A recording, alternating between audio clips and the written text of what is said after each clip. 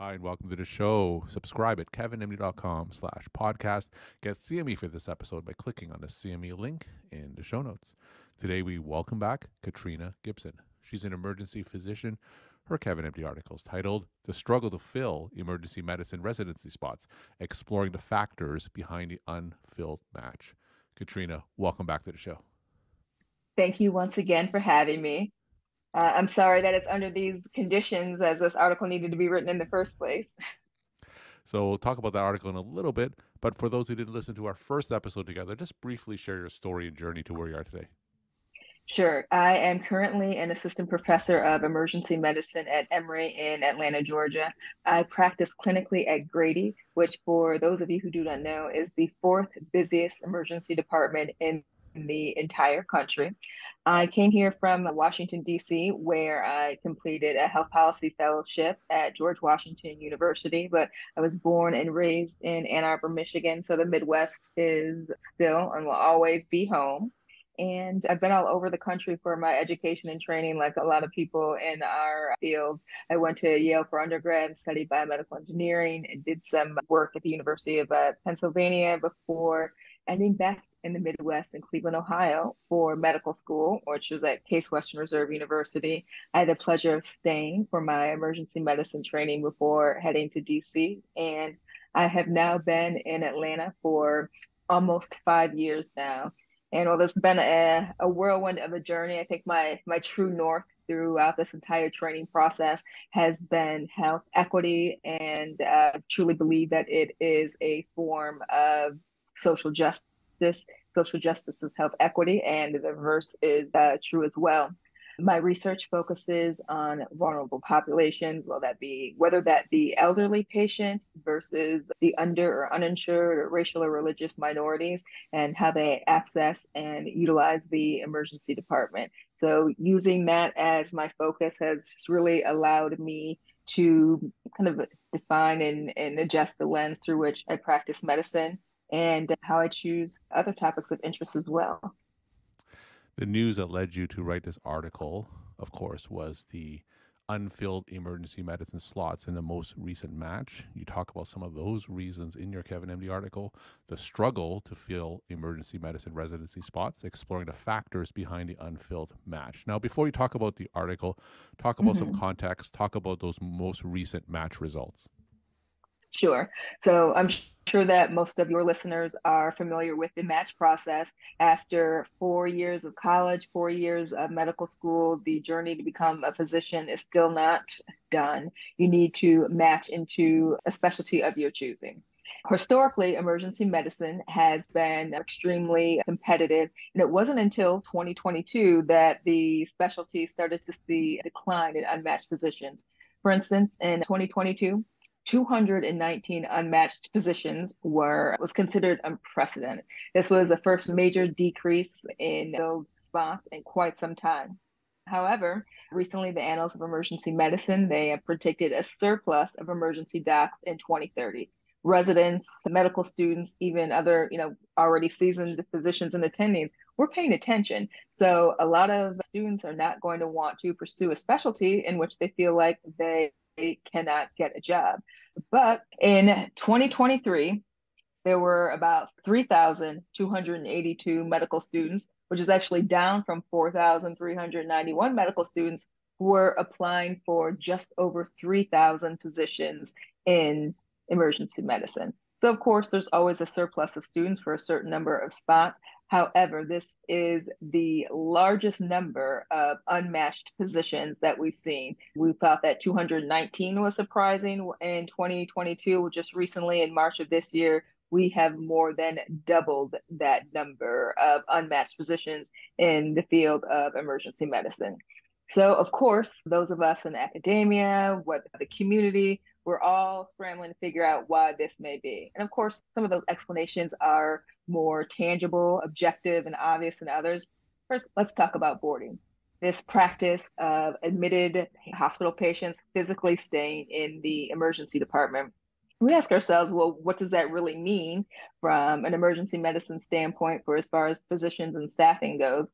It leads to worse outcomes for our patients. Mm-hmm. For instance, If you have sick patients that require ICU, step down, or telemetry settings, to try to take care of those patients in a busy hallway is difficult.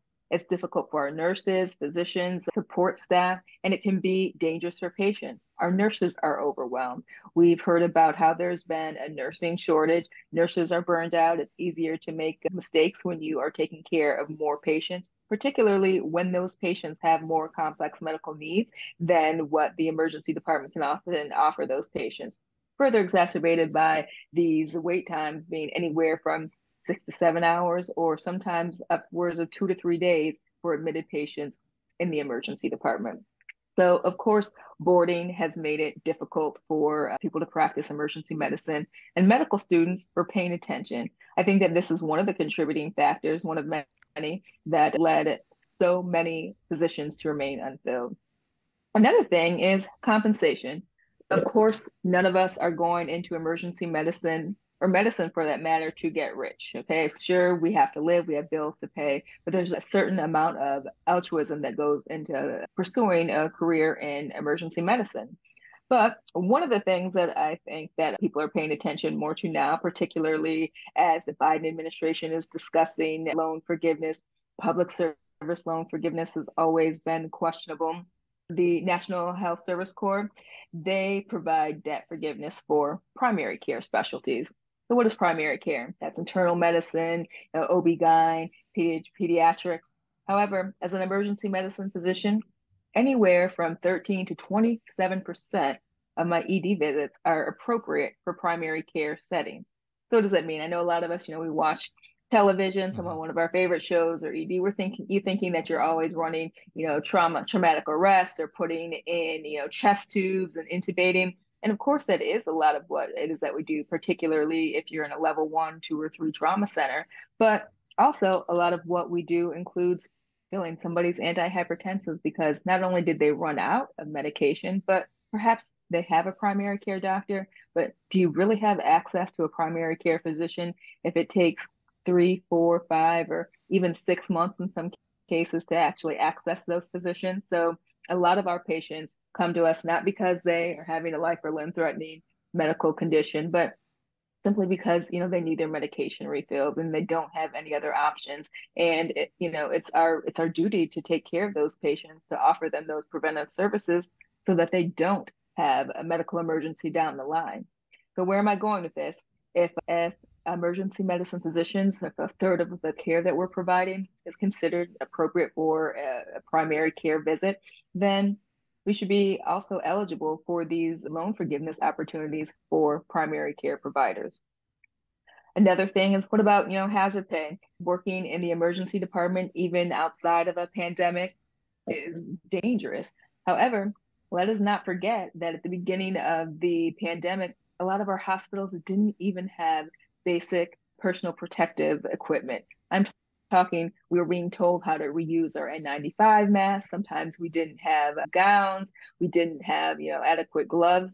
And this was in a setting before we even had the COVID vaccine or other, you know, anti- antibodies to, to treat this relatively, you know, new novel disease that was life threatening for a lot of people. And of course, certain populations Black and Brown people, or for those who are lower social economic status, were disproportionately affected by COVID due to a mere number of reasons. You know, they weren't able to to work from home. They didn't have access to health care or who were underinsured or uninsured. And this all put a burden on the healthcare system as well.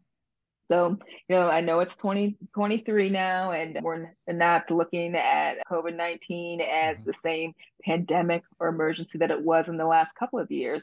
However, we're still seeing the effects and fallout of this disease. Over 1.1 million Americans lost their lives. And this isn't even, of course, including the, the worldwide loss of lives as well as productivity and this affected how we practice medicine. For, as far as medical students, this also took a toll on their clinical opportunities. There was a time period where medical students were pulled from their rotations. They weren't allowed to practice in the emergency department during the height of COVID due to safety reasons. Mm-hmm. And I think that that's completely appropriate. However, it also decreased their exposure to the to the specialty. And once we started to integrate these medical students back into our specialty, trust and believe they were paying attention. They looked around and they saw, you know, us at our, our emergency departments at 130 to 150 percent capacity. They saw, you know, sick patients mm. being taken care of in the hallway. They saw us reusing our masks, and they saw the burnout that comes from working in such a high stress environment. And that learners now are thinking just as important as their compensation as their quality of life. And I think that uh, with burnout being such an issue for uh, physicians in general, emergency medicine physicians reported some of the highest levels of burnout. And these are all contributing factors that things that we're talking about, things that medical students see, things that residents are seeing. And it's really changing not only where they want to practice and what they want to practice. Now, you have some unique insight from the academic perspective of emergency medicine. When you first read about these statistics about unfilled slots, what was the first thing that went through your mind? Were you surprised? Did you see it coming?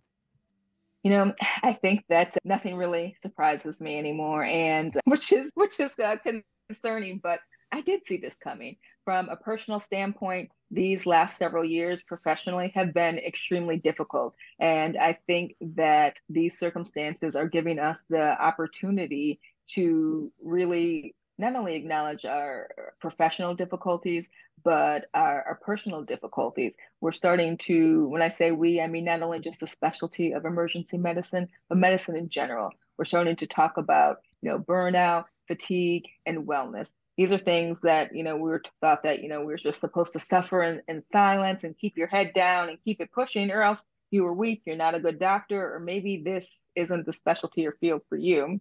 And now that I'm seeing that the ways that all of us are affected, both personally and professionally, it only makes sense that people don't want to work in environments where they feel like there isn't the infrastructure for them to be not only excellent physicians, but whole and well people as well. Because you can't have one without the other.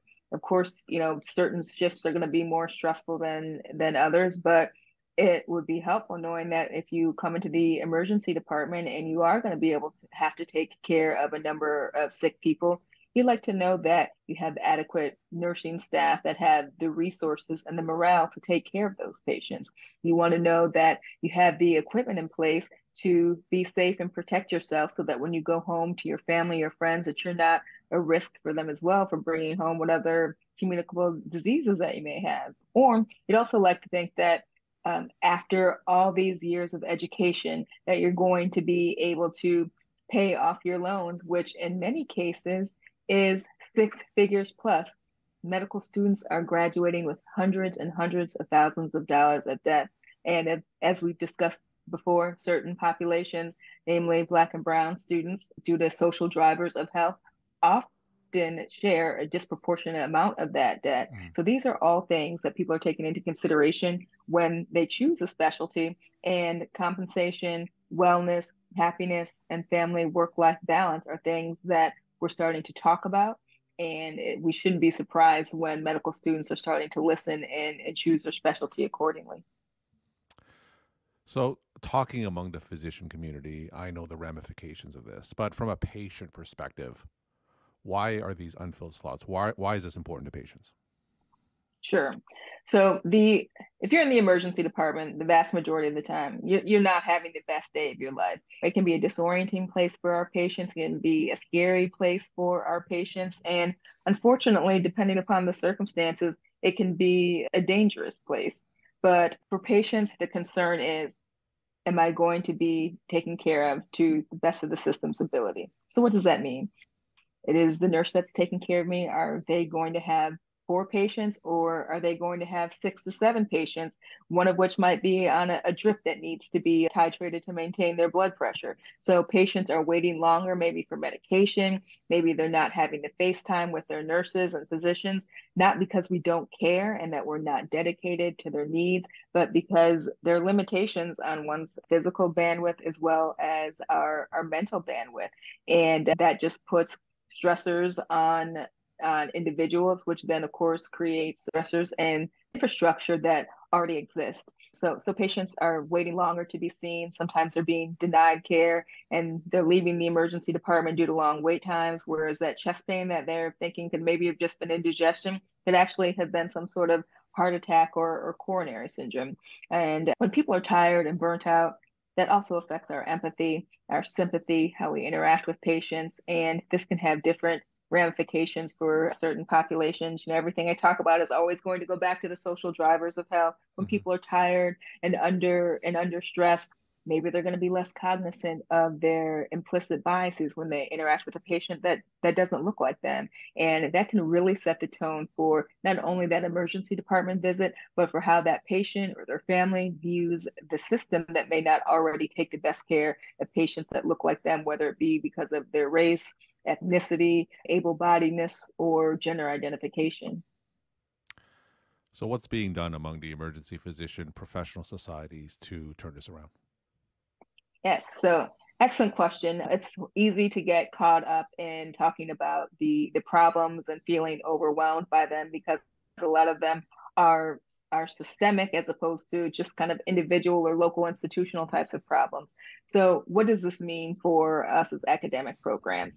I think one of the things that's important is reassuring our our residents that they can find work and, be, and after they've invested all of this time and effort into gaining this expertise and training so some of the things that we're doing is just really investing in their their wellness their education knowing what to do when they do feel burned out and or overwhelmed so they're not feeling that they have to to vacate the specialty being more proactive in the recruitment process not only from the medical student to residency pipeline, but making sure that we have established working relationships with other institutions so that after they graduate, they they will find work.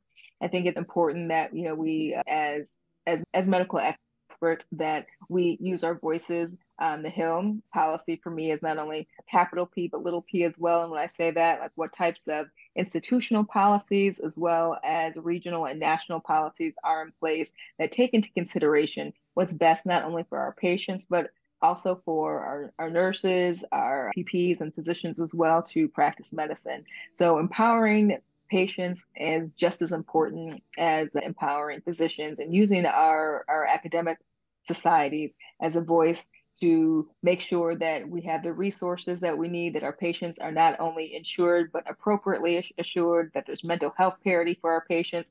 I think all of these type of preventive measures and resources can really change how our patients are using the emergency department. So, I mean, people are always going to be sick, people are always going to have accidents, but that upwards of 30% of, of medical problems and care that can be taken care of and are addressed in an outpatient setting however they're ending up in the emergency department, we need to take a few steps back and figure out why.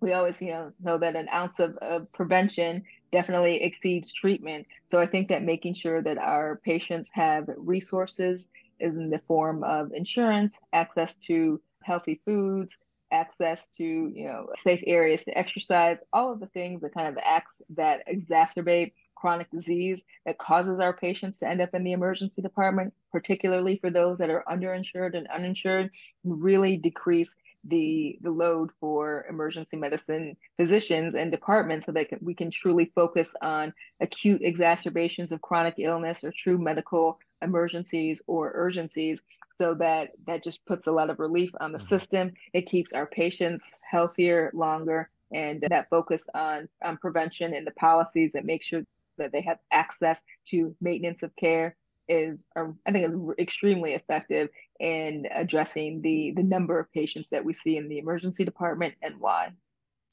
I want to ask you about the impact of private equity. As you know, the trend is that a lot of these private equity groups are purchasing emergency department groups, and when that happens, cost cutting becomes paramount.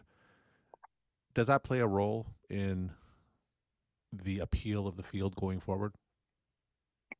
I think it certainly does. I mean, as long as, you know, profit is, is valued over outcomes, that's why we'll we'll continue to see certain trends, particularly, you know, in, in boarding as opposed to, for instance, as opposed to maybe hiring more nurses and support staff um, or, or giving them raises or paying them appropriately for the work that they do. If that's not happening, then you're going to see fewer physicians, fewer nurses and support staff that are available to take care of more and more patients. For instance, here in Atlanta, one of the more devastating things that could have occurred to us in the last several years is the closing of Atlanta Medical Center, one mm-hmm. of our other tra- trauma hospitals in the center in the area. And we're seeing the effects of that. Our volumes, particularly our trauma volumes, are increased, and there needs to be some sort of accountability. Of course, our healthcare system differs in that, you know, it's it is it is run as a business and as a for-profit business, which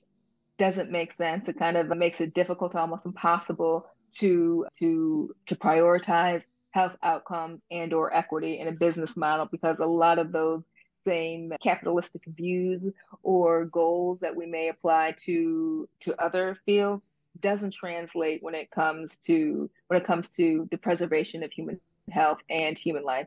Now, to a certain extent, those models look very different when you're talking about maybe academia versus a community setting in a teaching hospital. Mm-hmm. But nonetheless, all institutions have a bottom line, and that when that bottom line is profit, then health equity and healthcare can and will suffer.